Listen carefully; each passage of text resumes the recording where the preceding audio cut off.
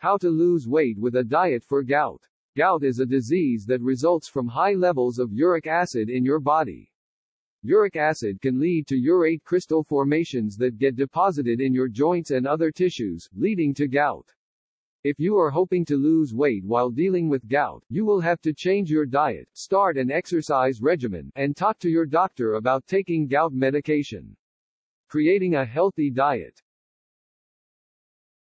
Avoid purine-rich foods. Purines are natural substances that are actually found in almost all foods.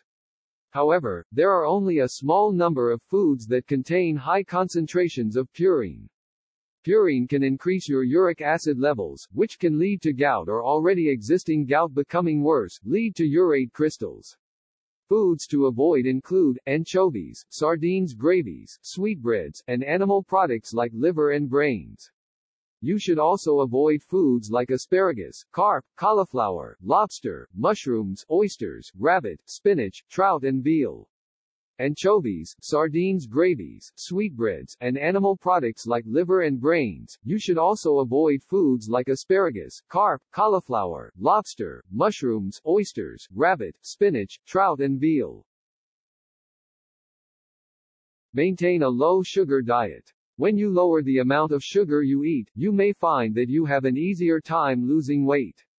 Fructose, which is a type of sugar, also increases uric acid so it is better to avoid foods with fructose if you have gout. Avoid fructose products like corn syrup and some soft drinks. Balance out the carbohydrates you eat. There are both good carbohydrates, like whole grains, and bad carbs, like foods with saturated fat. Try to cut out refined carbs and focus on complex carbs. Complex carbs include, whole grains, wheat breads, and cereals. Complex carbs include, whole grains, wheat breads, and cereals. Cut back in the amount of fat you eat. Saturated fat can slow down your body's ability to eliminate uric acid. High-fat diets can also increase your risk of obesity and increase your chances of having a gout attack, so if you are trying to lose weight, start paying attention to how much fat you eat each day. Switch to low-fat dairy products to cut out some of the fat in your diet. Look for lean proteins that have little or no fat content. Use olive oil, which is a monounsaturated fat a good fat rather than butter or margarine when you cook. Switch to low-fat dairy products to cut out some of the fat in your diet. Look for lean proteins that have little or no fat content. Use olive oil, which is a monounsaturated fat a good fat rather than butter or margarine when you cook. Stay hydrated. When you drink enough water, you lower your risk of developing urate crystals around your joints. While the amount of water you drink depends on your weight and lifestyle, try to drink water throughout the day.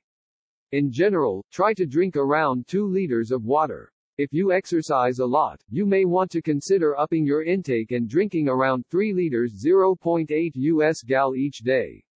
In general, try to drink around 2 liters of water. If you exercise a lot, you may want to consider upping your intake and drinking around 3 liters 0.8 US gal each day.